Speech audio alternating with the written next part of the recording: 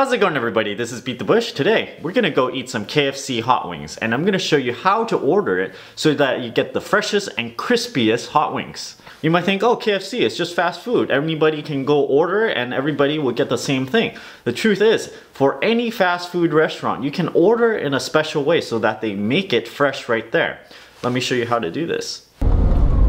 Now, a lot of people don't realize this, but you can actually order from KFC and ask them to make it fresh for you.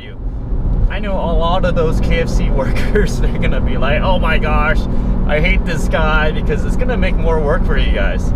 When someone orders something fresh, I don't think they exactly have to do it, so you gotta ask nicely. I will go order 20 pieces, uh, just so that it'll make it worth their while. When you buy more of them, you actually get kind of like a quantity discount. And they usually run about 75 cents each. Of course, I also get large mashed potatoes with it, so you can dip them into the hot wings. And I don't know, I'm kind of a foodie myself and liking these hot wings, even though, you know, it's a fast food restaurant, is says something because they're doing something right. So here we are at your typical KFC. Nothing new here. Any KFC looks like this. Let's go in. So I got the wings ordered. They usually say about 10 minutes and I ordered so many times that before they used to say about 8 minutes. So I think when they put it in, they actually fry it for exactly 8 minutes and maybe they add 2 minutes these days saying, you know, to prepare the wings, put it in the box or whatnot. But uh, let's wait. I happily wait for this because it turns out so much better. It's like a world of difference versus the ones that's been sitting in their little heater thing. It just gets kind of mushy. It's not as crunchy. Uh, it's not as hot. Time is of the essence when you get this box of hot wings. There's 20 of them in here. Check this out. This is fresh off the fryer. You can see it's steaming. Preferably, you gotta eat this within maybe 10, 15 minutes before it cools down. Here's the hot wing. Super duper hot. Bite off a little bit. And at this point, it's so hot. All the oils and stuff, they're like liquid. Very juicy. Mmm, so good. I'm gonna put this with some hot sauce on. And you eat that.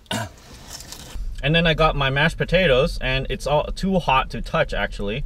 And you dip it into the mashed potatoes with the gravy. Look at this. Mmm. And sometimes you don't have a spoon, so you just use the drumstick like this to grab your mashed potatoes. Of course, it's too hot to eat like this. The mashed potato is way too hot. See how hot it is? Oh my gosh. It's really good when it's steaming hot like this. This actually works better on the mid joint, so let me bite off a bit of this. And put your hot sauce on there. Now for the dip. Let me guarantee you that eating it this way is actually better than most fancy restaurants fried chicken. So this is, you know, as good as it gets. Completely, really freshly fried. It's completely crunchy. The inside is done well. It's tender, tasty. When I was waiting for these chicken wings, I was looking at the nutritional content on the wall and it's actually 70 freaking calories for each one.